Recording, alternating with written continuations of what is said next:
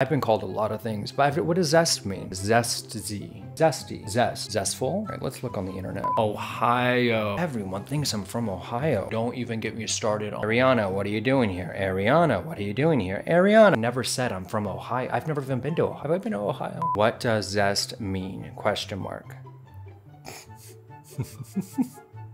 Uh, this all makes sense now. What does sus mean? I'm not googling that. I'm nervous. Get it? I look like an episode character, but what episode? What what season? What show are we talking about? It's every video someone saying something about sus. So sus of you. Like, where do they even come up with these words? Who's Ariana? My name is Spencer, and I'm zesty.